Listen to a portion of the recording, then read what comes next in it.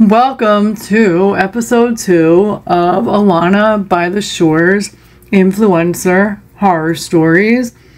The second episode is going to be the story of the late Ashley Margaret Bird, who was an influencer very well known in the beauty industry within the YouTube world, or at least um, she was known very well by people that I actually follow on YouTube and, and Instagram and such. That's how I originally found out about this the sad news about Ashley.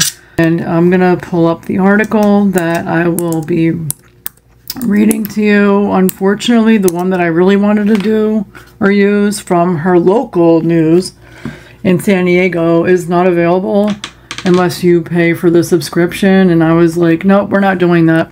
So I'm just going to go with it was the first time where I knew that somebody knew somebody as by Jeanette Quezada, published April 18, 2024 and it was updated at 10:17 in the morning. Is this one? Oh, there's like a video too of Ashley's sister Allison Saifong. I might play this, I might not. I'm not sure. But this one's a good article. Looks like a much better article to be honest. Sheriff's deputies say 35 year old Ashley Bird was killed in her home in the East County community of La Presa on Tuesday by her estranged husband. There's no alleged in this article. And then I saw recently after that there was an article that said that they finally finished the court or something. I think. All right, by her estranged husband, who was also later found dead. The ordeal left a nine year old without both of his parents and two families heartbroken. She was just, and this is in quotes, by Ashley's sister, Allison Saifong. She was just a beautiful soul inside and out, Ashley's Ashley Bird's younger sister said. Saifong remembers her sister as a kind, caring and love as kind, caring and loving. She was also a devoted or excuse me, she was also a devoted daughter, sister, auntie, and loving mother to her nine-year-old son, Saifong said. She would absolutely give anything and everything for her son, Saifong said. Ashley Bird was killed inside her Spring Valley home on Tuesday. Sheriff's deputies said the suspect is her estranged estranged husband, Christopher Bird. And in quotes again. My sister, she worked from home. She was in a Zoom meeting. At that point, she thought someone was trying to break in and she left. And she said, Hey, give me a second. Somebody is trying to break into my house, Saifong said. Ashley Bird didn't return. Saifong said the coworker Ashley Bird was speaking with contacted their mother. When no one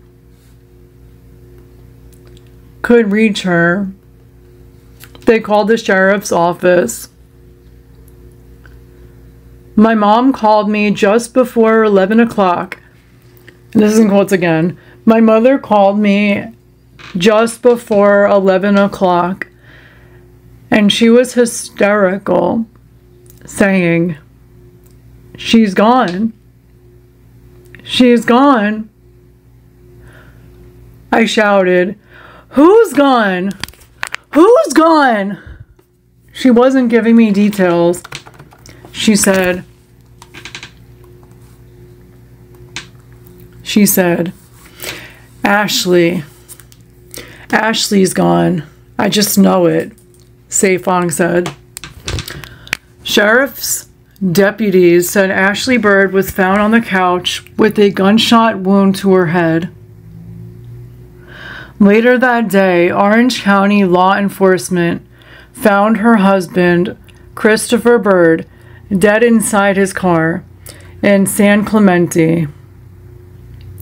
We knew he was volatile, and this is in quotes. We knew he was volatile, but we were we but we never expected this, Saifong said.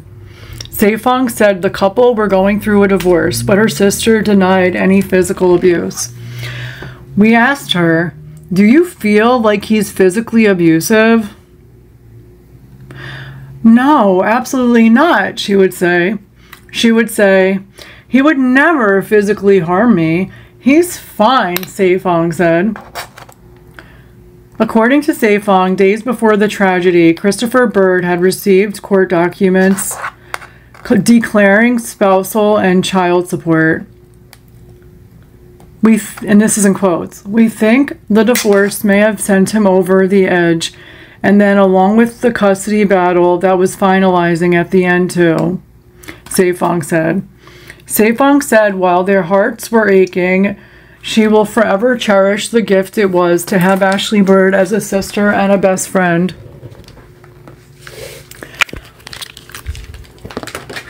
In quotes, I wish I could have called her more. I talk to her every day, but I still wish I would have had that one last chance to talk to her. It didn't have to be anything elaborate. Just say hi, say I love you, give her a hug. Just those small, tiny details that I would have been able to do on a daily basis. And didn't get to do that one last day.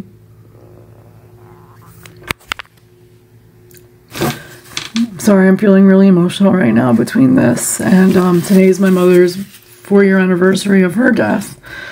So, between that and reading Ashley's story, I can totally feel it and relate to the feelings that Ashley's sister Allison had recounting her experience and the way she felt towards her sister. I just tell her how much I love her, Saifong said. Saifong said the family is now deciding who will have full custody of her nephew. And that's the end of that article. Um, and then at the bottom it says, which I've been pushing, or I did start to push with my first episode of my podcast. Um, definitely, if you know, or if you know someone who's experiencing domestic violence and or is suicidal or feeling suicidal, there are avenues that you can reach out to for help. So at the bottom of this article, it says if you or someone you know is experiencing domestic violence, contact the National Domestic Violence Hotline by calling 1 800 799 SAFE or 1 800 799 7233, visiting www.thehotline.org or texting love is one word to 22522. Um, I hope you enjoyed my second episode of my influencer horror stories podcast. And if you did, please give this a like. Please share it with everyone you know. And don't forget to, do not forget to subscribe to my channel, Alana by the Shore.